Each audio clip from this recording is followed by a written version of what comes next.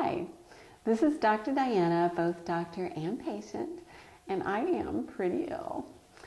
As part of the series on Ehlers-Danlos, I wanted to discuss the vascular form of Ehlers-Danlos syndrome.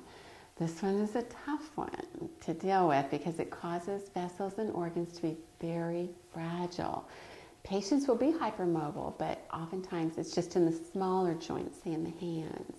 Their skin tends to be fairly translucent, and oftentimes you can see the blood vessels on the chest or in the abdomen very easily. They tend to bruise very easily and are prone to arterial, intestinal, and even uterine rupture. These patients must be watched closely for dilation of their aortic roots also. Vascular EDS patients will sometimes have a particular facial appearance that you can identify. Their nose sometimes will seem thin and pinched. Their lips will seem thin. They um, tend to have very little subcutaneous fat on their arms and limbs. Their eyes may appear large, and they oftentimes don't have earlobes per se. Okay. Um, you also can see premature aging sometimes in their hands and feet. We call that acrogeria. They can get tendon or muscle ruptures fairly easily. I had one friend just tear his ACL stepping off of a curb. Um, some are born with a club foot. You may see early onset varicose veins and a pneumothorax. Even upon birth, that is not uncommon. Gum recession is typical, and we always ask about a family history of sudden death, usually from a vascular event. The genetic defect involves the COL3A1 gene, which affects collagen type 3. So at least we have this one identified. Now, all of this sounds horribly frightening if it weren't for Dr. Hal Dietz. This is a wonderful doctor and researcher in this arena. Our family was blessed to be able to see him, and when you do, you will understand why he is the Art of Listening Award winner for 2010. He's working aggressively for a cure for vascular Ehlers-Danlos. How great is that? Now, if you were found to have vascular Ehlers-Danlos through genetic testing, I would strongly recommend that you try to see this man. But if you can't, he's very popular. Um, be sure to ask your treating physician about starting treatment with losartan.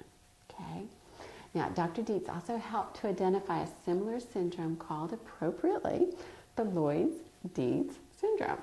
Um, it also involves fragile vessels, especially the aortas, and aortic roots must be carefully monitored as they need to be treated much earlier than, say, for Marfan syndrome, for example. This syndrome involves the TGF beta R1 and 2 genes. The condition shares some of the characteristics of Marfanism. Uh, a tall stature, kind of lean appearance, uh, long fingers, etc. Patients may have widely spaced eyes, a cleft palate, or what we call a bifid uvula, which is a double or forked little hangy downy thing in the back of the throat, you know, the uvula back there. Um, arterial tortuosity and aneurysms are often seen too. Now, of course, the joint hypermobility, the translucent skin, congenital heart problems, scoliosis, which we all seem to have, um, and dural can also be seen. But dural is often seen in other forms of Ehlers-Danlos. Um, I have it in my cervical or neck region. Um, dura is the membrane that surrounds the brain and the spinal cord, and it can stretch and bulge, especially if the fluid pressure within it is, is fairly high all of these Ehlers-Danlos syndromes seem to overlap in some patients, like me and my family. Uh, we have so many things overlap, it just boggles your mind. We have the Marfanoid habitus, which means we're tall, lean, and have fairly long fingers. My daughter has the bifid uvula, which means we were tested for Loeys-Dietz. Um, we have easy bruising, semi-transparent skin, dural my sister had a club foot. We've had two deaths in the family and children due to vascular events. So there is overlap there for sure. Um, until we have all of the genes identified for Ehlers-Danlos, we can use skin biopsies to see what the collagen looks like. We can look at patient features, family history. We can rule out vascular Ehlers-Danlos and Loeys-Dietz syndrome with genetic testing if we need to. So we can usually identify Marfan syndrome with genetic testing also, but not always. Tough one. So this is why you need a geneticist who is very experienced with clinical diagnoses of Ehlers-Danlos.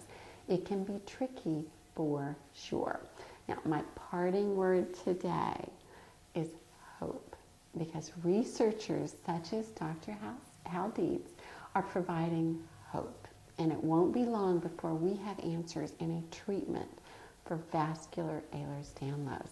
Dr. Dietz is predicting answers within five years. How cool is that? So, okay, my friends, until next time, let's change our worlds one brain cell at a time if we have to. Gentle hugs to you all. Love you.